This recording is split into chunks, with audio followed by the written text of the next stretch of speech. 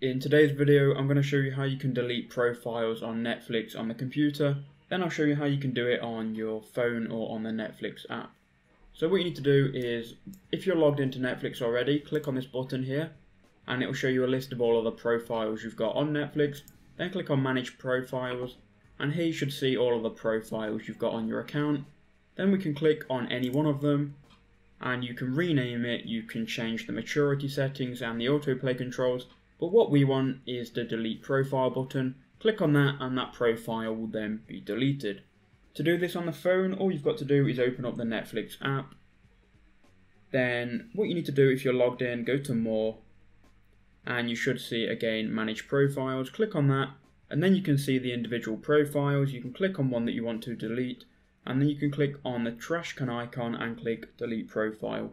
So that's all you've got to do guys. If that video helped you out, please do leave a like subscribe, comment down below, and I'll see you all in the next one.